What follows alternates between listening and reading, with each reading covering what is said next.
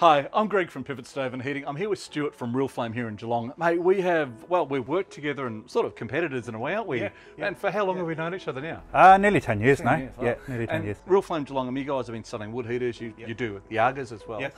And now you guys know how to put in one of these room seal flue kits. Yep. How good is that? Yep. yeah, and they're good flue kits. Uh, Now today's the first time you've actually put one of these in and of all the jobs you could do, I I think as a plumber, a 45 degree wall penetration kit on a two story home with no access, nailed it for complications.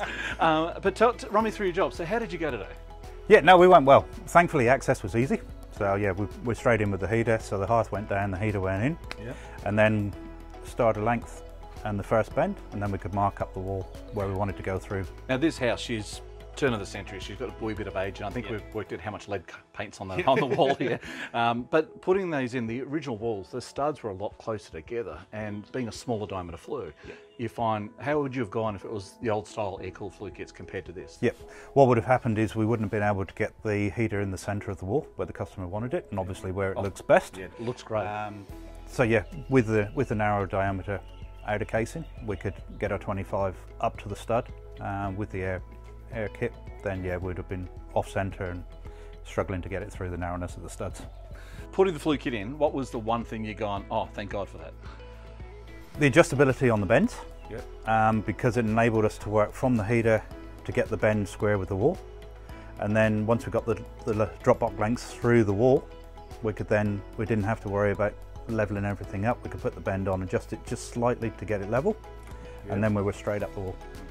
So one thing you notice uh, putting this in, I know you, you put a lot of these kits when you were plumbing in England. Yeah. Um, it's really nice to have it available in Yeah, Australia. oh, it's great. A little bit behind here, but that weight, I mean, there's a lot of flue on that heater, Yeah. and all that weight is sitting on top of the heater. Now, how, how did you find bracing it then without having to hold that weight up?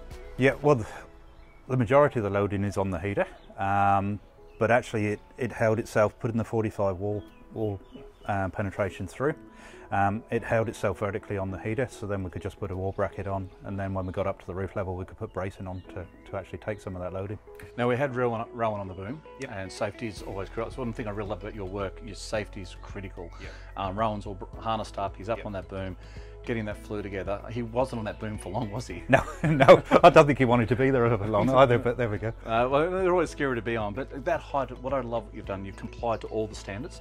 You're three metres away from the roof, you're 600 mil above, you comply to all the standards, and here in Geelong it's quite critical to, Yeah. I mean, in a dense population to be right. How would you have gone with a triple skin flue kit?